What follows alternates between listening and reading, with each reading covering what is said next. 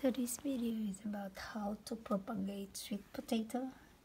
So I have a sweet potato vine that's from outside and it's pretty long and I know that it's, uh, uh, winter is coming so I chopped the whole plant, the whole vine and put it in my uh, soup and then after that this is the parts of the long vine that I cut into pieces and then soaked it. This is actually full. And it's only like four five days later look. And some of the I put it in the warm warm area right here next to my window. Nope. That's my rosemary.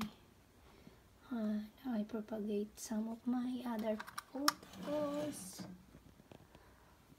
So that's where they, they stay.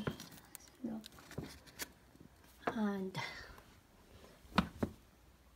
I plant already. Some of the, them here.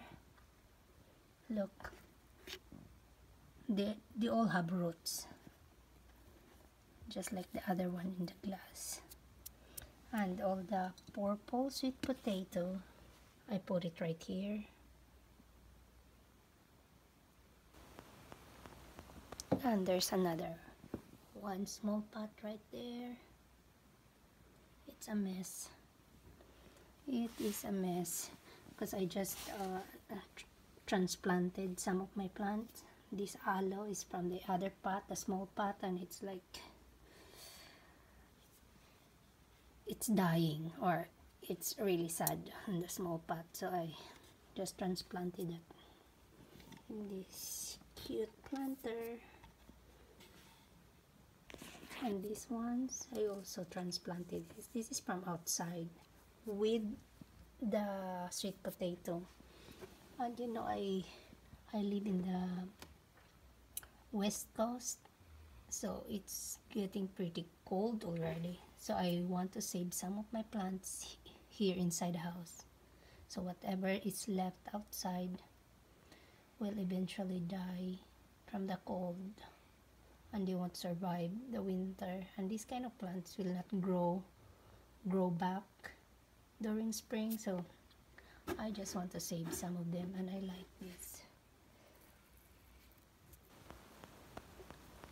And this is some other plants that I also transplanted. Propagate. Actually I propagate them from the other plants outside. I have a lot of this. I really like this plant. I don't know the name but this is called Mayana, I think, in my country. And I like it that, there's like different pattern of the leaves, different color. And I really like the rosemary.